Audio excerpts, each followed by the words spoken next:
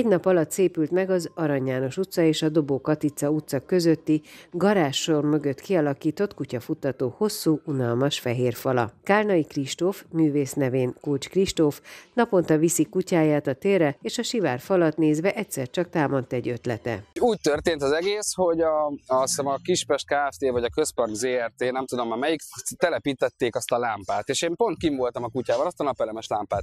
És én pont kim voltam a kutyával, és gondoltam, hogy akkor ő lesz a benfentes, és őt megkerestem, és elkértem a számát, hogy mi lenne, hogyha kifestenénk a falat, akkor még nem volt benne az önkormányzat, csak az, hogy mi veszünk festéket, és megcsináljuk, és mondta, hogy ha küldünk látványterveket, akkor lehet, csak nem tudtunk annyi festéket venni, hogy az egészet megcsináljuk, és akkor utána kerestem meg az önkormányzatot ezzel a kérdéssel, hogy mit szólnának. Ha, és amúgy úgy reagáltak, hogy menj.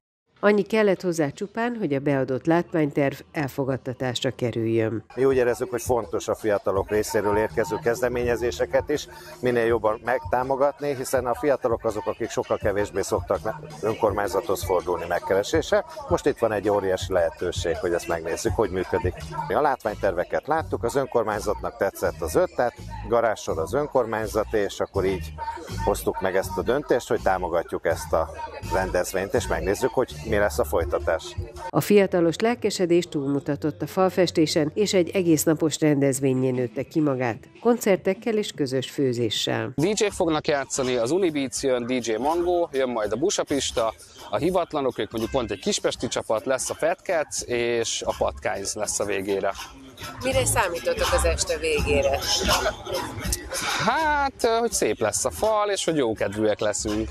A kutya karaktereket 75 méter hosszan 13 grafitist rajzolta meg. A fiataloknak szóló, fiatalok által rendezett esemény az Így fest Kispest Graffiti Jam elnevezést kapta.